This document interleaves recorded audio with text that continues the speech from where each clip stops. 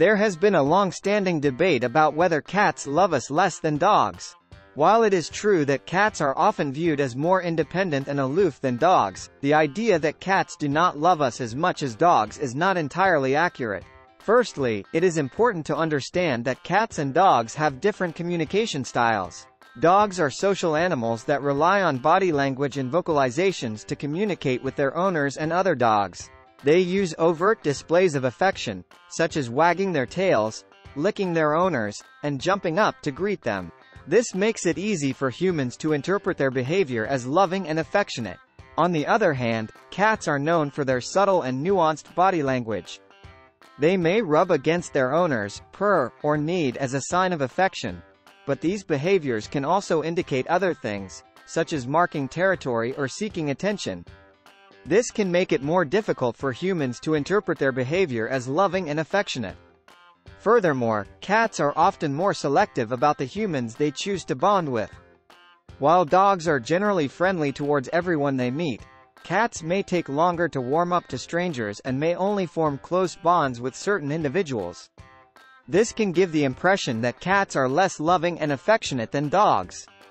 However, it is important to note that every cat is unique and may display varying levels of affection towards their owners. Some cats are very affectionate and seek out attention and cuddles from their owners, while others are more independent and prefer to keep to themselves.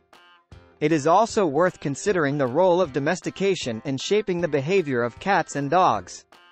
Dogs have been selectively bred for thousands of years to perform specific tasks and work closely with humans. As a result, they have evolved to be highly social animals that form close bonds with their owners and have a strong desire to please them. In contrast, cats were not selectively bred for specific purposes until much later in history, and were instead valued for their ability to hunt rodents and pests. As such, cats have evolved to be more independent and self-sufficient, and may not have the same innate desire to form close bonds with humans as dogs do. However, studies have shown that cats do form attachments to their owners, and can experience separation anxiety when their owners are away. In one study, cats showed a similar level of attachment to their owners as dogs did, and even displayed signs of separation anxiety when their owners left them alone. In conclusion, while it is true that cats are often viewed as less loving and affectionate than dogs, this perception is not entirely accurate. Cats and dogs have different communication styles and social structures, and while cats may take longer to warm up to strangers and form close bonds with their owners, they are capable of forming strong attachments and experiencing feelings of love and affection.